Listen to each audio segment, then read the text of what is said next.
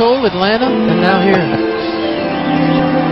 Ladies and gentlemen, Harry Connick Jr. and 1976 gold medalist Dorothy Hamill. You're going to love this. Well,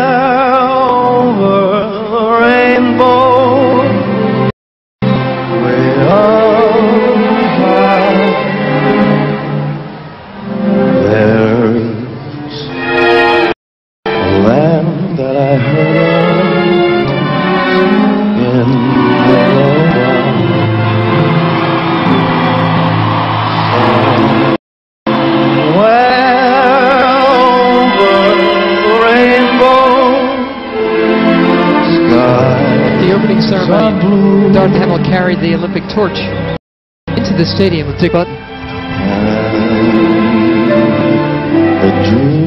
That you dare to dream really do come true.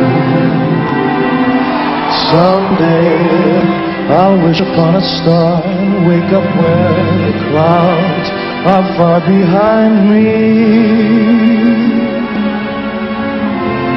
Where troubles melt like lemon drops away above the chimney tops. That's where you'll find me.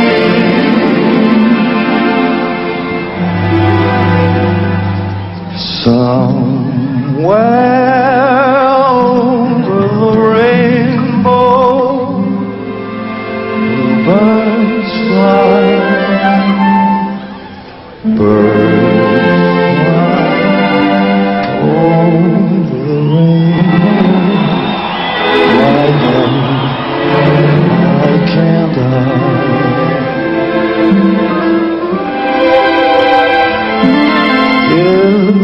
Happy little bluebirds fly beyond the rainbow, why, oh, why?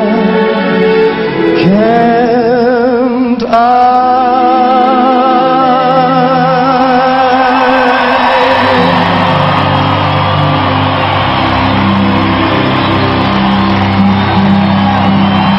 Still with such a passion for skating, now in her mid-40s, Dorothy Hamill skates in a number of ice shows. It's still the first to get on the ice and the last to leave.